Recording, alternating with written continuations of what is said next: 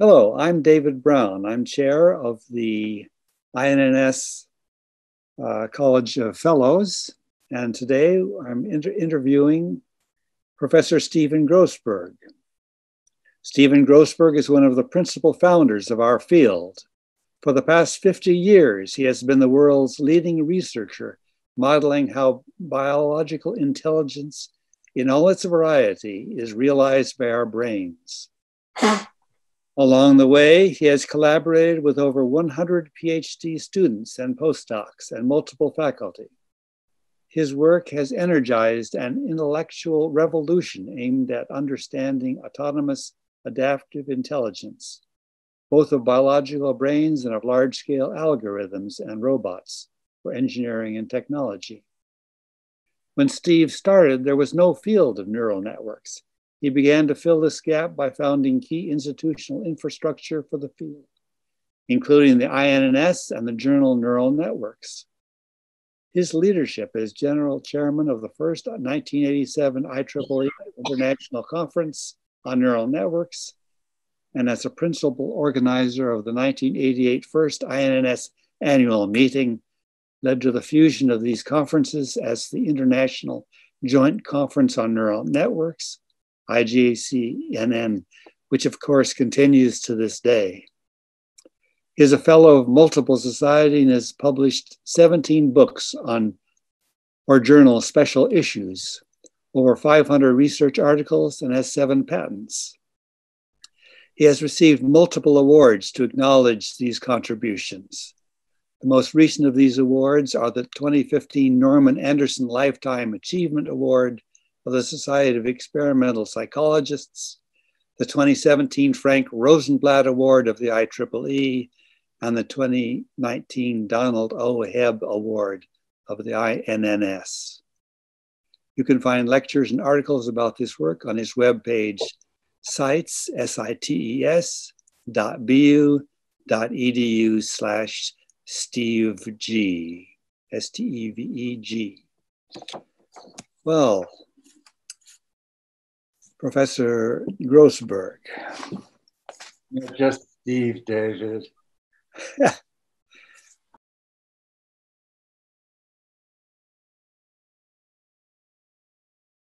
How did you start your this illustrious career? Well, I started actually when I was a freshman at Dartmouth College. Um, so I took introductory psychology like a lot of kids, and even then, there were large quantitative databases about human verbal learning and animal discrimination learning. And I noticed paradoxes in these learning data. You know, learning data are probes of self organization, which is a big issue even today. For example, we studied data about how we learn lists of items or events it could be the alphabet, a poem, a dance, a series of navigational turns. And at least in the data, you learn the list by practicing it over and over with the items in the same order and present at the same rate so you can control it.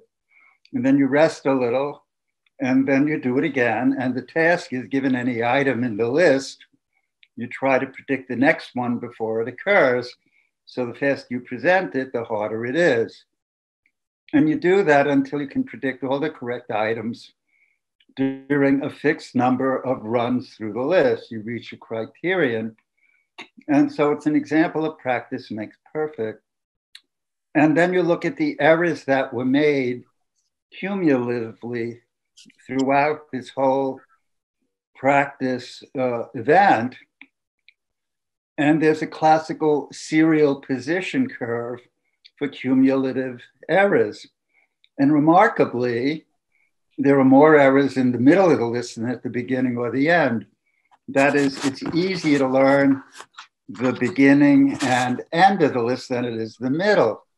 And you know, we have a lot of examples of that in daily life, like you have an important relationship and it ends, and you can more easily often remember how it began and ended, and then the middle is a bit of a muddle. But you might have assumed that the list got harder and harder to learn the further you got into it because there was more and more response interference from all those previous items. But why then is the end easier to learn if the rest interval between successive presentations is longer than the presentation rate of the items themselves? So you try to practice a list once, you rest a while, you practice a list once, you rest a while. And if you do that, then the end of the list is easier than the middle. And if you increase the rest interval, then all the errors through the list collapse. That shows the non occurrence of a future item, that is to say, resting more, can influence the learning of all the past items. And that implied to me, which I thought was absolutely thrilling, that events can influence each other backwards in time. And we know in physics too, backwards in time events are really exciting. Backward learning is maybe a simpler example of this. Let's say you're just trying to learn A, B. Well, by practicing A, B, you also to some extent learn B, A. But let's say we're practicing A, B, C.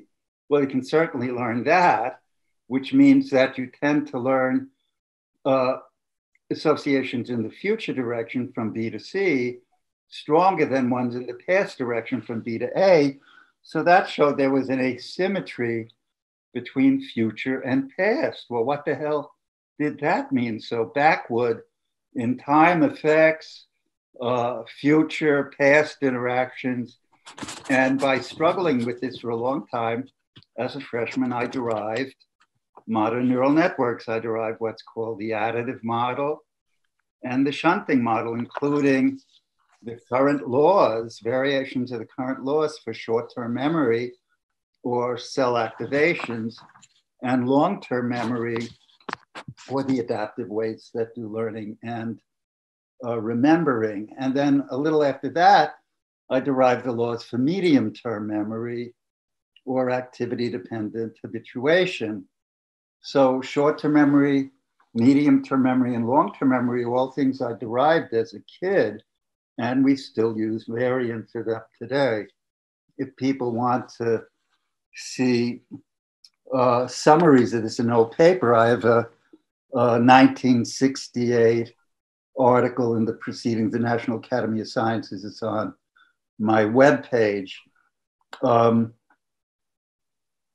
anyway, when I was at Dartmouth, I, I managed to thrive in research because I was first in my class and people sort of gave me a little wiggle room. In particular, I got to know Al Hastorf, who was the chairman of the psychology department, and he went on to become a much loved dean and provost at Stanford after I graduated. And John Kemeny was the chairman of mathematics, and he was famous for inventing the computer language basic, and he also was a pioneer in, uh, uh, you know, having lots of people interact on computers. He was actually Albert Einstein's last graduate assistant at Princeton. And they both gave me a lot of support and enabled me to become the first joint major at Dartmouth in mathematics and psychology, which at the time was unheard of. And then I also got what was called a senior fellowship in my senior year. And so I spent the whole last year at Dartmouth doing research on neural networks. And that's how I got started. I got a good launch at Dartmouth, a big accident as a freshman. But then I was in an environment where I got you know, really a lot of wonderful support from colleagues who had the power uh, to protect me while I did my work, which wasn't always the case. You know, when you do what you're told, often people think, oh, that's fine if you get good grades, but as soon as you break out and start being too creative, or creative in a way that your mentors may not be able to follow, uh, in the minds of some, you become a problem but not at Dartmouth, not at Dartmouth.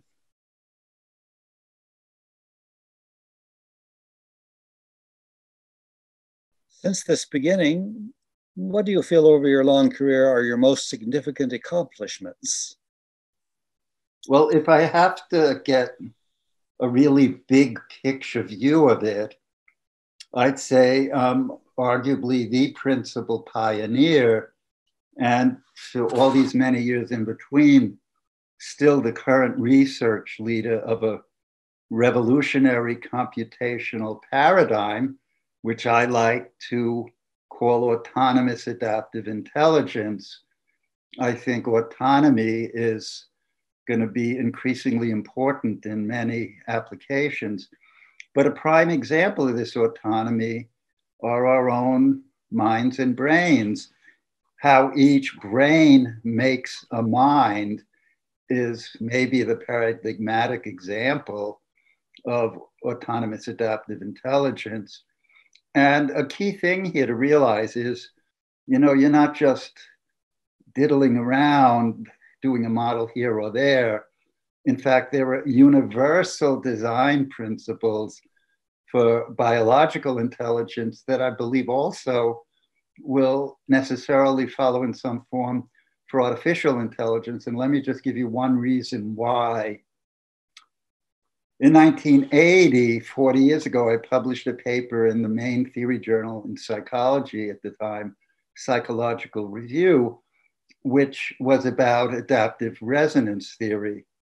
And we'll come to what adaptive resonance theory is, I assume, in the next minutes. But one of the things my paper did was it carried out a thought experiment, a Gedanken experiment. If those of you who followed Einstein, who's one of my most beloved heroes of the past, you may realize that he did some of his most profound work uh, based on thought experiments, like his elevator thought experiment that helped him to derive the laws for general relativity theory. But my thought experiment in 1980 asked how can a system autonomously correct errors in a changing world if no one tells you uh, what the errors are? And by going through the thought experiment,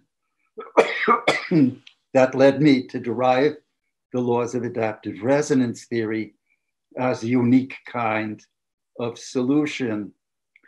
So I therefore believe that how our brains make our minds will play a role, an increasing role in all types of autonomous adaptive intelligence in the science and technology of our century and beyond. And another thing that's, I think, worthy of note is, excuse my cough, it's just asthma, a lifetime of asthma. I had to introduce not only new intuitive concepts, but also rigorous new mechanisms of mathematics to analyze them. After all, these were nonlinear dynamical systems with a lot of internal feedback like we always expect things that are happening to us. What's going to happen next? Well, that internal feedback, that those learned expectations are a form of internal nonlinear feedback. And um, so I had to introduce intuitive concepts and mechanisms and math about how our biological intelligence can self organize. Well, these are the most difficult kinds of revolutions to wrap your mind around. You know, first there are the new intuitions. What the hell is he talking about? And then the new math. Well, what if, you know, you don't have the tools to think about it fluently?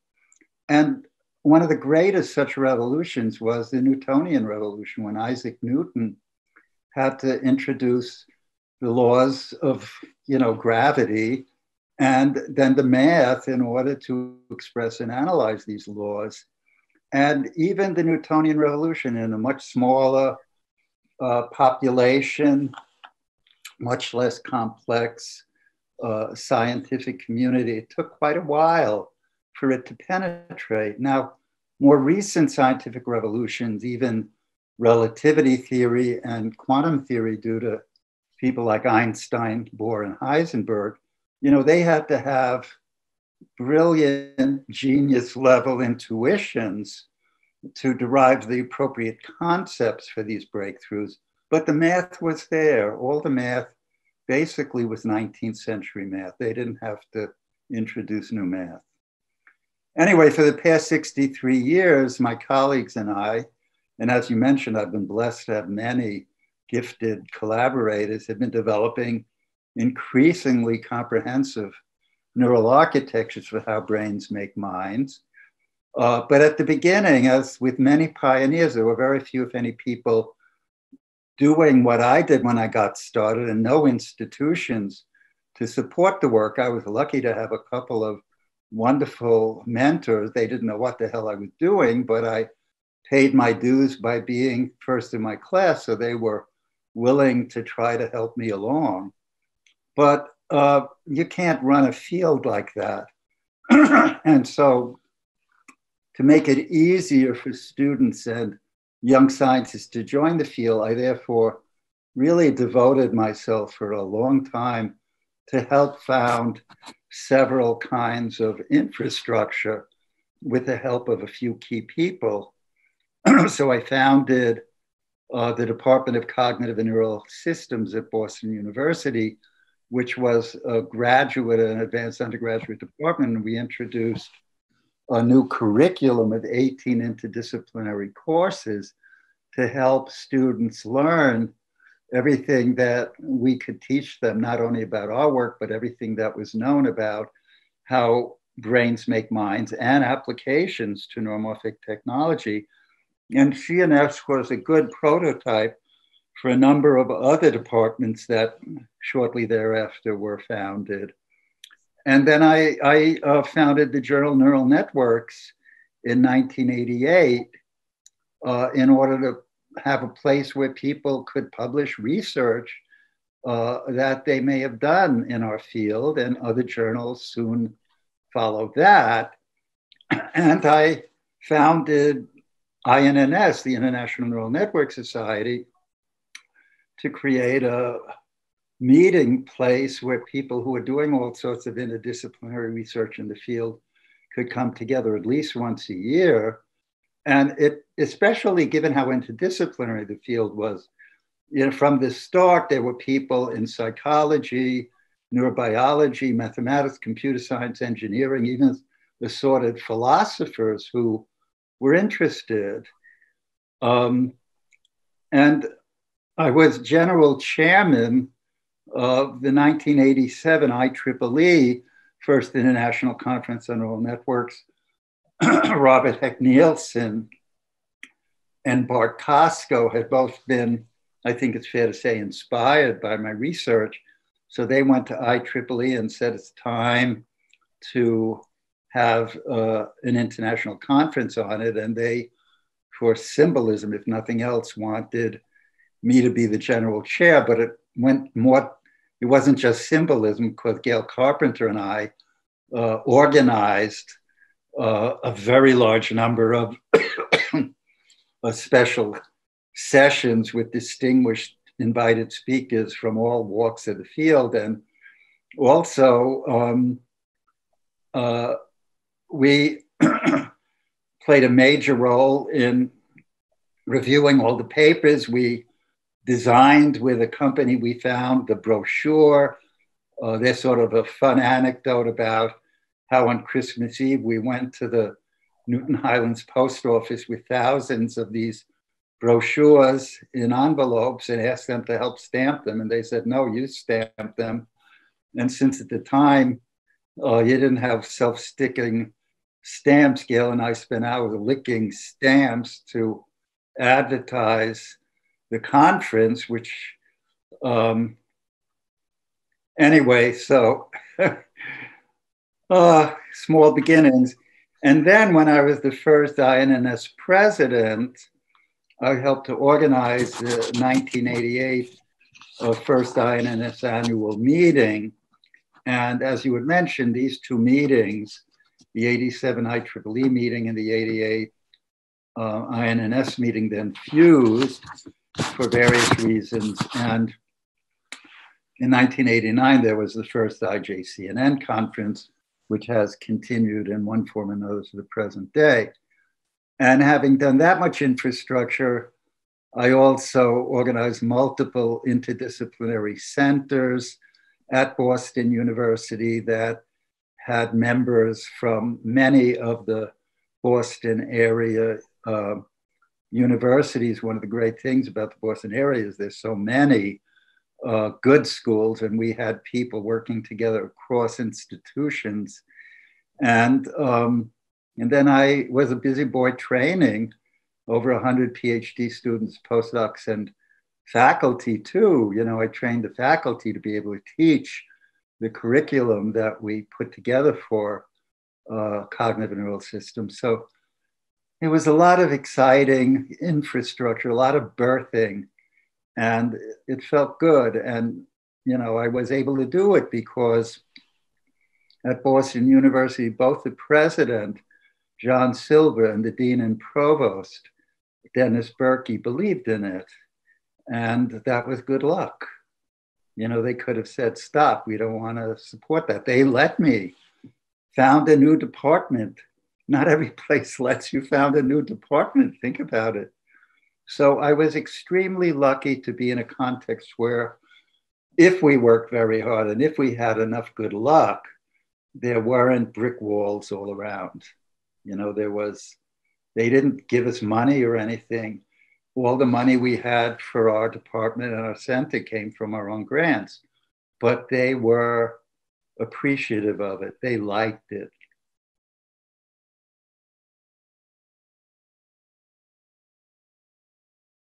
Steve, you seem very far from uh, beginning a serious retirement. Uh, ah. what, are you, what, are you, working on now? well, I did officially become emeritus on September 1st, 2019 due to an agreement that I reached with the current BU president and administration. Basically, they just didn't want to pay me anymore.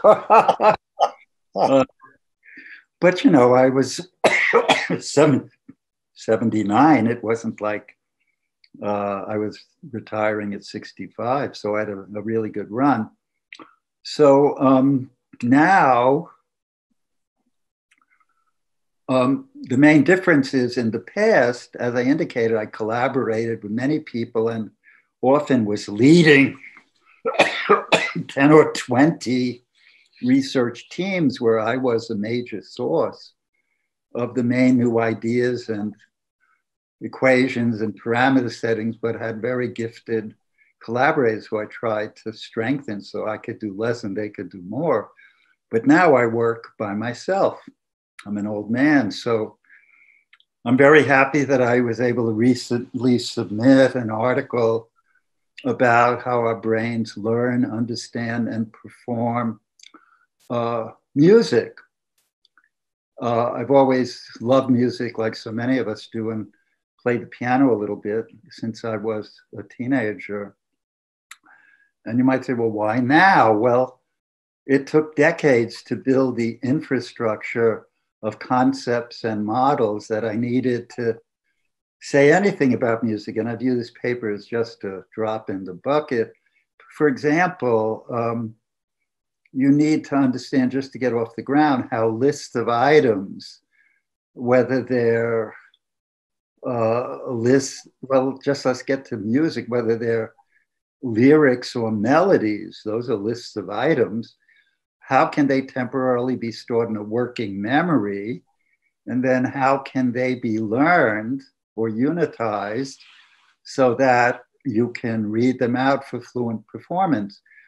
And you got to be able to do it with lists where you're repeating notes and you're repeating letters or words. So these are called item, order, rank working memories.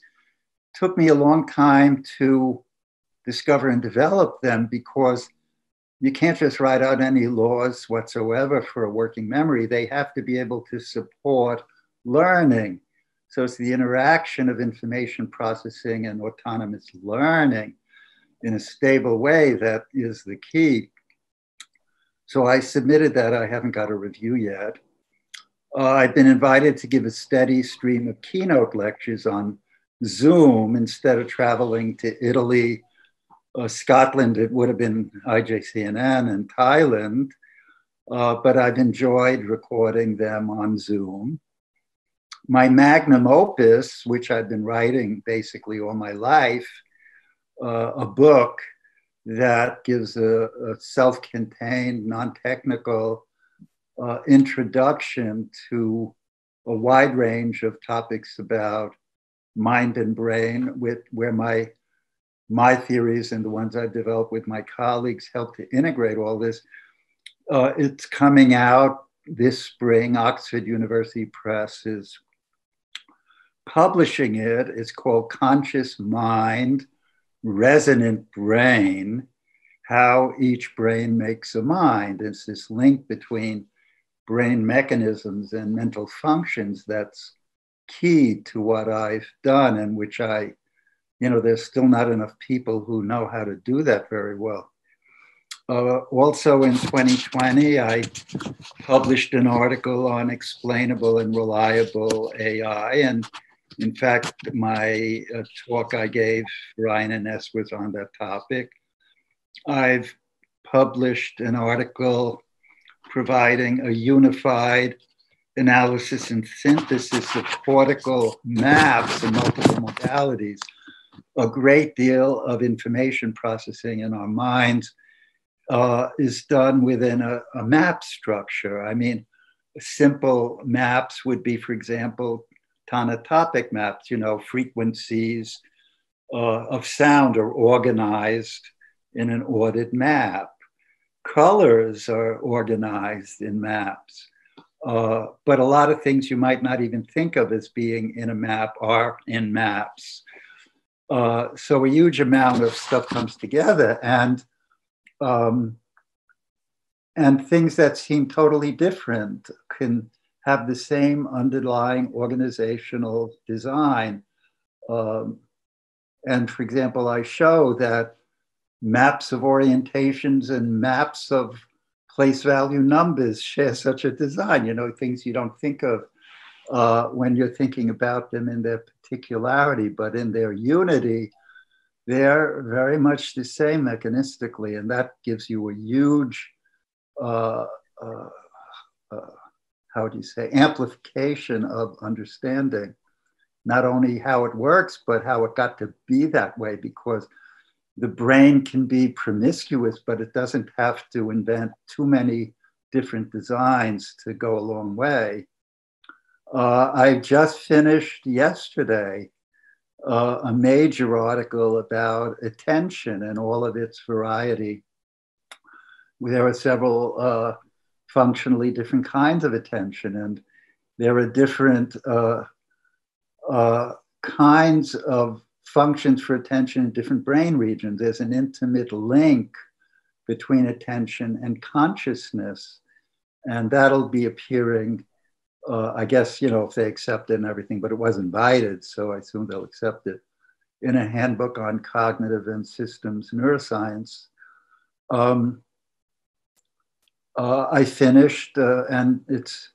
Uh, I just did a, you know, I was asked to do some minor revisions, uh, a historical and conceptual synthesis of results about autonomous adaptive intelligence for a 50th anniversary IEEE transactions on systems man and cybernetics special issue. last year in 2019, I did something that I, I love to do as much as I loved writing about music. I, I wrote an article about how we see art and how painters make it. And I, I was invited to give lectures in Spain and other places about it. And that, those lectures and that article are on my webpage. Um, and I'm hoping to continue to write a series of integrative articles, like some things I've mentioned, uh, with some new insights also included, if I'm lucky.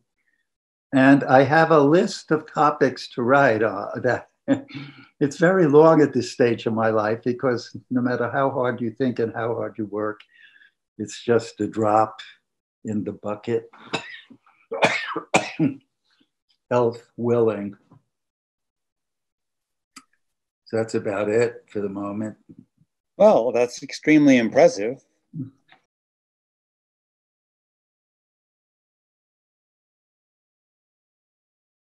I'd like to go back a little bit. You've already talked a little bit about the beginning of INNS. Uh, could you amplify that? How was the International Neural Network Society begun? Well, one of the realities of working through the 60s to the 80s was it was incredibly hard to publish models uh, that did an interdisciplinary synthesis of different kinds of data. Um, for example, one of my first loves in studying mind is how we, how our brains see. And there are huge databases about vision, both psychological and neurobiological, going back to Helmholtz, Maxwell, and Mach. And so I would submit papers to the main journal at that time, publishing the kinds of data that I was explaining about vision. And that journal was Vision Research. And they sent it back to me without review, saying, We don't publish stuff like that and I would then, I was always very shy, but you know, sometimes it's either do or die. You, you let people crush you or you fight back. I wrote, well, why do you bother publishing data if you don't want anyone to explain it? So, as of today, I've published at least as many papers in vision research as I think just about anyone in the world. And the same thing was true in psychological review. I mentioned my 1980 paper in Psych Review, but I tried to publish a paper there in 1978, and the editor in chief at the time, Bill Estes, was a leading mathematical psychologist. He was a great pioneer. He was trained as an experimentalist, though, doing learning theory. He worked with Skinner who you may know is famous for work on instrumental conditioning. Um, his famous 1941 paper, Estes and Skinner. But he realized that data by themselves aren't enough, and it's really important to try to build models of it. But since Bill was trained only as an experimentalist and never had the good fortune to study math, his struggles, the most he could do was to use finite Markov chains to do basically statistical urn models of learning, where you'd have two urns. In one urn, you'd have a certain number of elements that were learned, and another you'd urn, you'd have elements that weren't learned. And if elements went from the unlearned to the learned urn, that was learning. And if they went from the learned urn to the unlearned urn, that was forgetting. And then, you know, you might have more urns with different but it was really the most you could do with it was to try to fit probabilities of group learning data. And here I came along with nonlinear neural networks trying to explain parametric data about individual learning. And he sent it back too. He said, We don't publish stuff like that. And I, I, reminded him he's supposed to be a leader of the mathematical psychology movement, and I knew him. And that if he's not going to publish stuff like that, he's never going to publish anything new and his journal will become irrelevant. So now I have probably more papers in Psych Review than anyone else alive, although I haven't been counting, but you know, we publish them fluently. And in some cases, it just didn't work out. And, you know, my 1978 paper didn't get into psychological review. I had to fight that. But by 1980, the, the flow began. So there was a continual struggle just to get journals, but I realized we can't do this forever. I might, just by virtue of the fact that I've been in these experimental fields too. I had a foot in each camp. Um, I might be able to push this, but you can't expect people to come into the field, young people, and not have a journal. And so that's why I founded the journal Neural Networks. And I got to know the editor in chief at Pergamon Press, and he was a big believer in the field and that, and they were publishers of vision research at that time. So, you know, they, they were sort of part of this picture. um, anyway, so then, you know, if you have a journal, you have to have uh, places to train people to do the research to publish in the journal. And so that's one of the reasons I founded the Department of Cognitive and Neural Systems and various research institutes at BU. I, um, you know, multidisciplinary university research initiative things from DARPA, ONR, and Air Force. I got big grants to do that. Uh, from NSF, I got one of their science uh, uh, of learning center grants, a 10 year grant for 50 million. You know, I was able to, with my colleagues, uh, get people, key program managers in Washington to believe in us.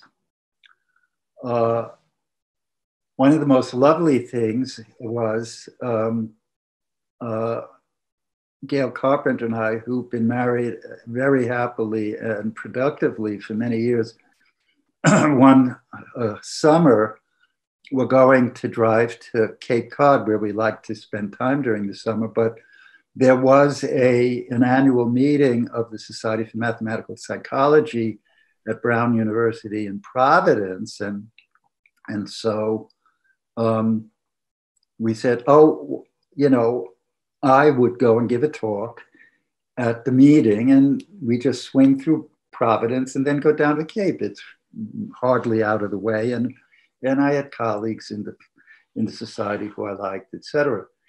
Anyway, one of the people in the audience where I spoke came up to me later and said, "I assume you have very big grants," and I said, "No, not at all. You know, I was." Just an MIT professor, and we all shared into a group grant that the whole department got at that time, and you got some salary out of it basically. And you know, students, you know, had their research assistantships, and if you could attract a student, you could do some research. And I said no. So he then did an amazing thing. He um, uh, invited program managers from all the agencies in Washington NSF, ONR, ARO, AFOSR, DARPA, NIH to come to his office at NSF. And I lectured to all those program managers for a whole day. So they would find out about this revolutionary young guy. And that opened many doors. The money became accessible. So a number of events like that happened where I view it as good luck combined with hard work and a gift from God, I guess, that uh, made it possible to, you know, do a lot of foundational work. Um, you know, I could say more about our department, our centers, you know. Um, INNS was founded to have a place where the people who were trained to work in the field could get together each year and my goal in founding INNS was to make it an interdisciplinary uh, hub. And uh, so the annual meeting of INNS, the first annual meeting in 88, I uh, worked with Gail Carpenter particularly. I, Harold Szu was also very helpful, but I did most of the outreach at that time of this kind.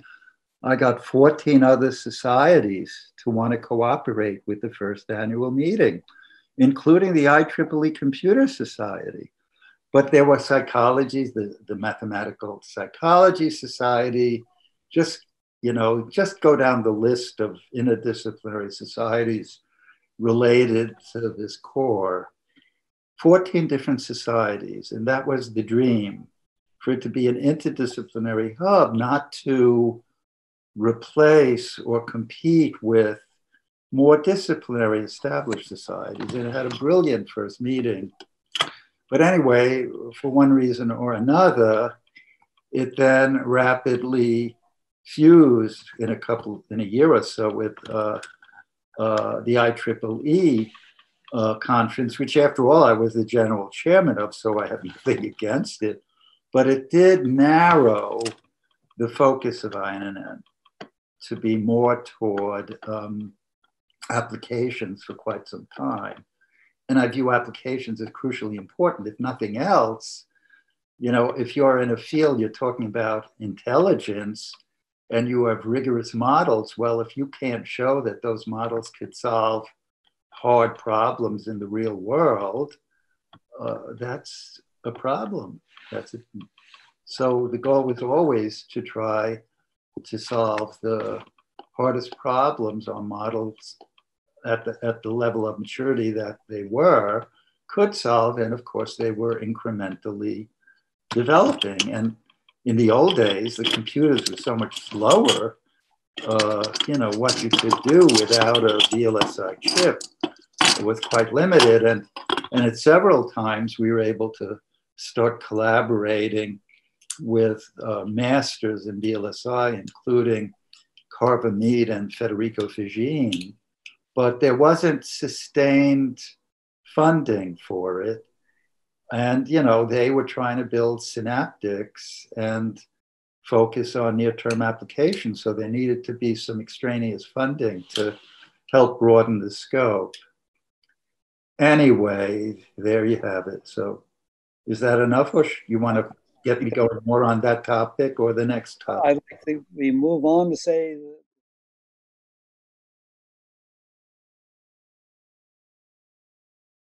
the society INNS was was established oh, a little over 30 years ago now. What about for the future? What should INNS be doing uh, looking ahead into the future? Well, as I briefly indicated, um, INNS uh, got linked with IEEE through IJCNN uh, and the IEEE Computational Science Society, which came later. Um, I think to too great a degree, uh, INNS has, to a shocking degree, lost autonomy as a, a society. And there were lots of problems due to that. Um, in the past, I hardly think about these things, and I don't like thinking about difficult things like that now, especially. But but that merger or that cooperation was not always healthy for INNS. It really kept it from becoming what it could have been which is an, a true interdisciplinary hub where people who are developing models that are primarily psychological or neurobiological or interested in the mathematics of the models or uh, just computational issues or applications, all different aspects of it could come together and speak in, you know, a forum where they can all learn from each other now, I don't know what is possible given all this long time with all these problems in the past, but I do know what would be ideal. It would be ideal if INNS could become as much as possible a truly interdisciplinary hub again, uh, much more autonomous, so that um, you know, whereas IJCNN is a good thing and should continue. And I, I think INNS does try to do additional meetings as well. I think doing more of that, you know, with more psychological, neurobiological, and what have you groups would be good. Now, one of the difficulties, it's everything depends on timing. And because INNS didn't maintain its flourishing identity in an interdisciplinary uh, framework, you know, people rushed in to fill the gap. So, you know, there uh, there's computational neuroscience now. There's uh, NIPS now. There are all these competitors in a way that's very healthy, but in a way it also uh, happened the way it did because INNS was weakened uh, by its fusion with IEEE. Uh, so I think it would be re- really one of the things I love about the INNS is it's it remains a truly democratic institution. It has elections and it has a membership that has the greatest privilege of any institution, including the United States electorate, you know, to elect a president and a vice president and what have you. And NIPS doesn't do that. NIPS has been a clique meeting uh, from the get go. It's run by Terry Sejnowski. Uh, Terry wanted it that way. That's what he wanted, I believe, to have an INNS, but I, I wouldn't allow it. So um, uh, IEEE also has some democracy. I don't, I don't understand its politics, but I do know that there are elections and what have you. So I love that INNS is democratic and, and therefore has to follow the lead of the people who are drawn to join it. But I, I do I do think that at this time in our history, especially with billion dollar investments uh, in intelligence, that INNS, if it got some of that money for the development of its uh, membership and its various interdisciplinary training programs and for special um, sessions at its own meeting and specialty meetings uh, that could be very, very valuable. I mean, for example, uh, well, yeah, you know, uh, I'm blocking on some of the names of it, but but I know in Europe, my my friend and colleague Henry Markram uh, got a a big European grant and um, to build a center uh, for Europe in Paris, and you know, it wouldn't hurt if INNS had more embodied infrastructure um, with you know, if it if it became a, a, a thriving enough establishment with a modest office in Washington D.C. where the action is, or, or Arlington, Virginia, um, stuff like that. But it all depends who's leading and how much energy they have and who they know to get some of these resources and can they convince people who have money, even if they're not government agencies. You know, there are the Bill Gateses the world. I know that they are rightly donating billions to Africa, where there are huge health and other crises. but it would take a pittance to transform um, what INNS could become from someone who's really rich. So I don't know. Do you guys know anyone really rich? if I were really rich, I'd give you a few million, but can't do it. Sorry.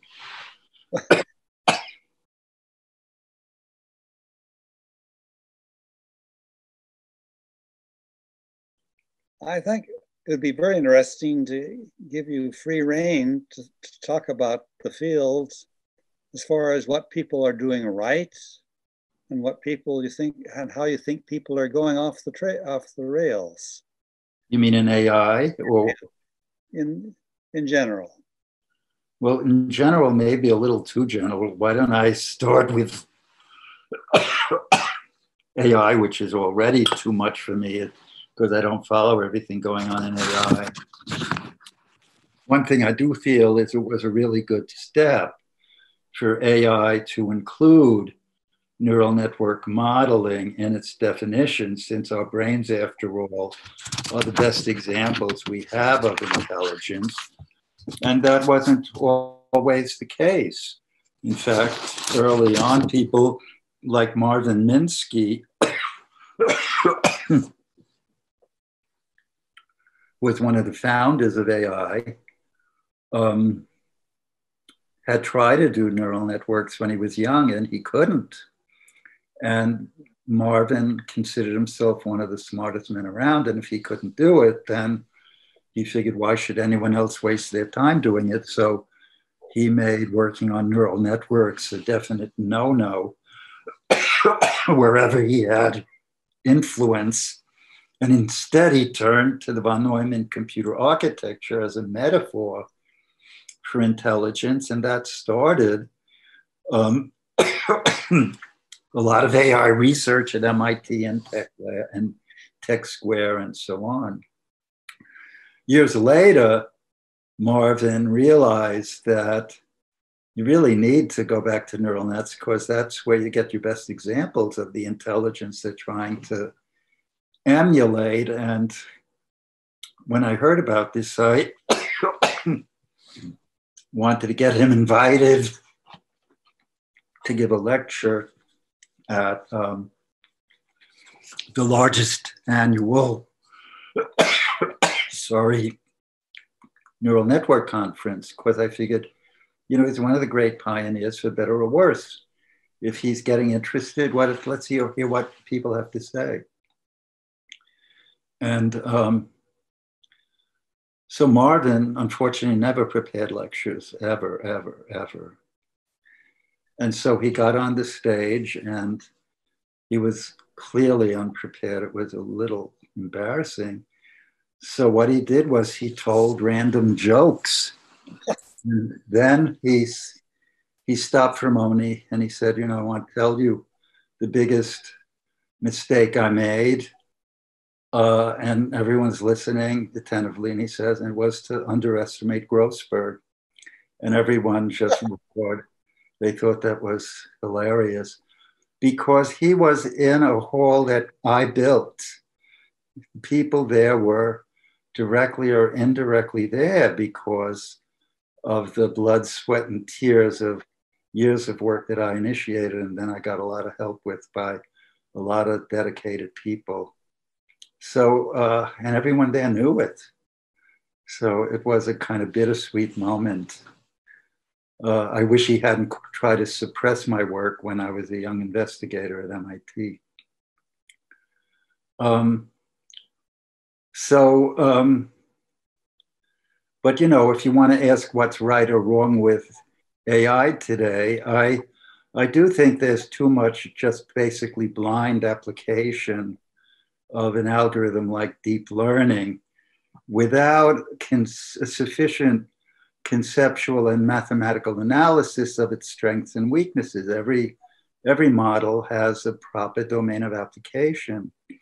For example, already in 1988, that's 32 years ago, I wrote an article in the first issue of Neural Networks where I contrasted the learning engine that deep learning uses, which is the backpropagation algorithm, with properties of the adaptive resonance theory that I had introduced in 76 and others had worked very hard with me and others I didn't work with to develop. And I listed 17 problems, serious problems of backpropagation and therefore of deep learning that had already been solved by adaptive resonance. Uh, in fact, deep learning, you know, many people say is just backprop on steroids. And these are not problems you can ignore. In fact, I have a paper this year on deep on um, uh, rely um, explainable and reliable AI. It's on my webpage and uh, it's published in Frontiers in Neurorobotics. it was invited by Jeff Krichmar, who to contribute to a special issue about explainable AI. So, in particular, deep learning is untrustworthy. uh, because it's unexplainable. You look at a prediction made by deep learning, you have no idea why it made it. And it's unreliable because it could at any moment in time experience catastrophic forgetting and forget a good part and an unpredictable part of what it already learned. So it's untrustworthy and unreliable. So you simply can't justify using it in any life or death application because you don't know why it works and you don't know if it won't if it just crash on you. so you can't really, if you know what you're doing, use it for a medical or financial uh, application because you can't driving a car. What is that? Perhaps driving a car. Yeah, or yes, and that's life or death too, very much so. You know, you might want to have it as an assistant, but boy, you better have plenty of time to override it. And you and you know, it's hard to imagine um, training people to understand well enough what uh, the basis on which it's making predictions when the algorithm can't be explained to know when you can you know, get your eyes off the road.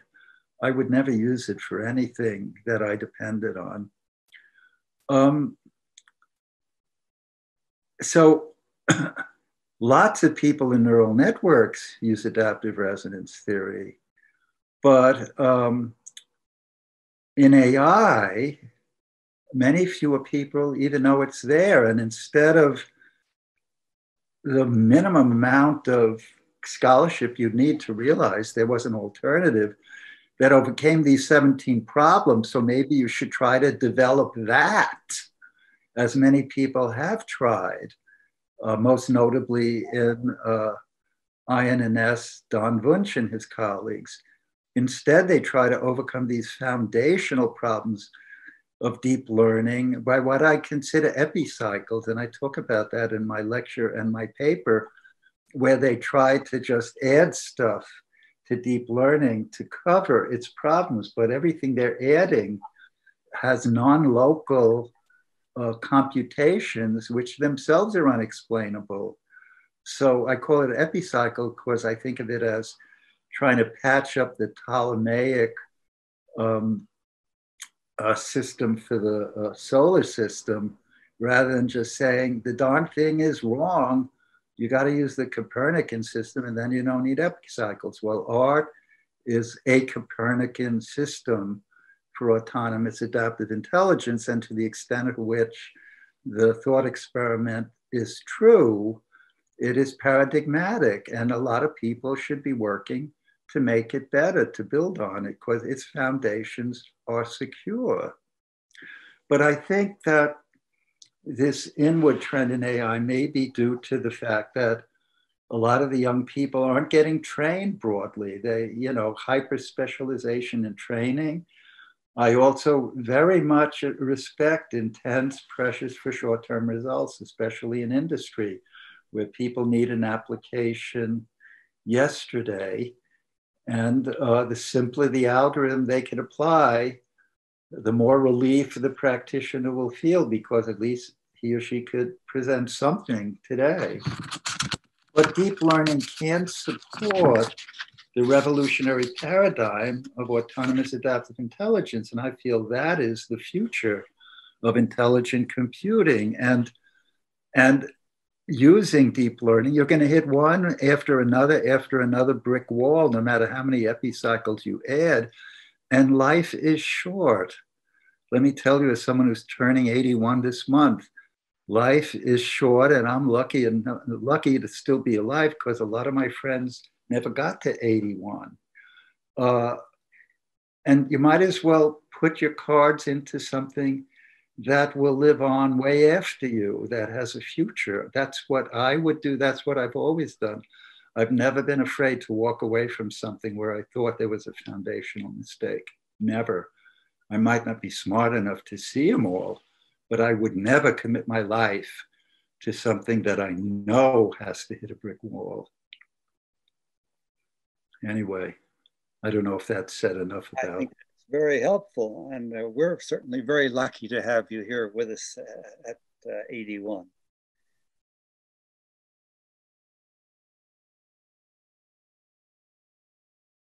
Uh, moving to close things out, you did talk about uh, students having lack of breadth in their in their foundation. What advice would you give for a researcher just starting out in the field? Well, again, if I had to give a big picture start to an answer, I'd say it's really important for a young researcher to find problems about which they're passionate, problems that they passionately want to solve, questions whose answers they desperately want to know.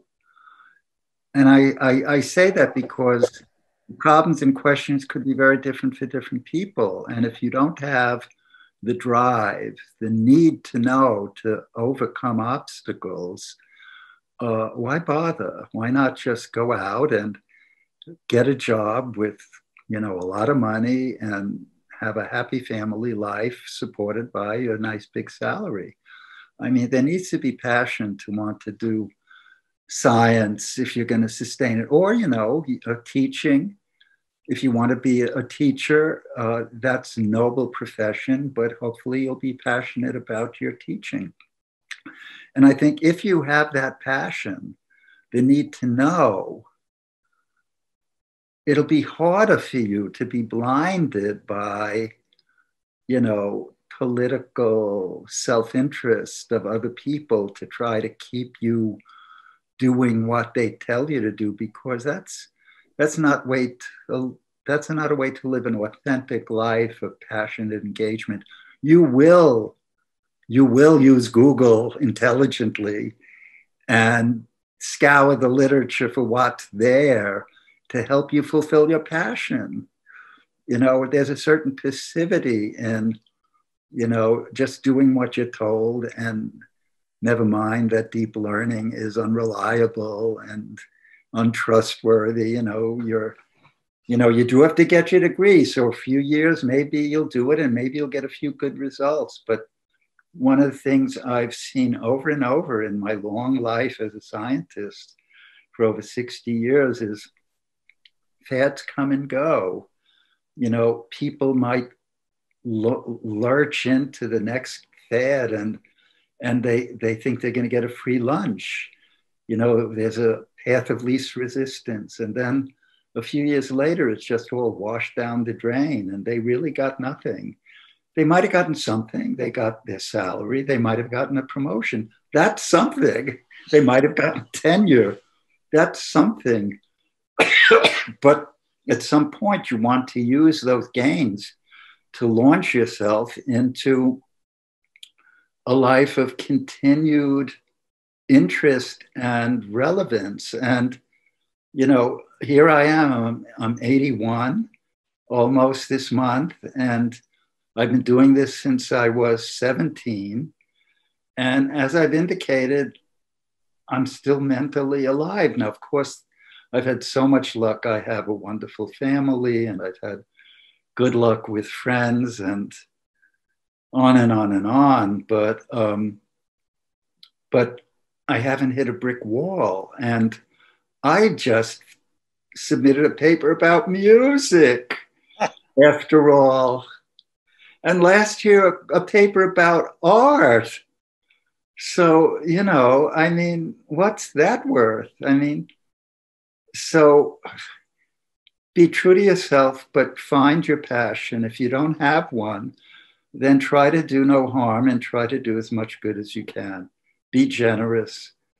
Uh, offer your skills to others. Maybe they'll have greater strength in fulfilling them.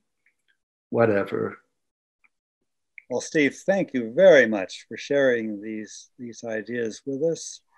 And thank you for your lifetime of service to the field.